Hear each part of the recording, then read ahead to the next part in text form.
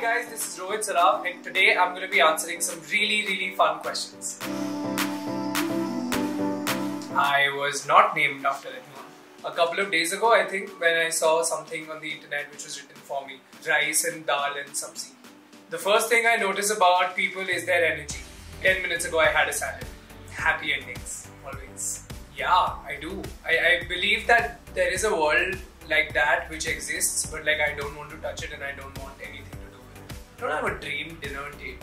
Uh, Ellen actually. Would be such a fun date. All the opportunities that I have right now, all the love that I have coming in for Mismatched and Ludo, I think I'm very, very, very grateful. I think to be able to be in different places at the same time.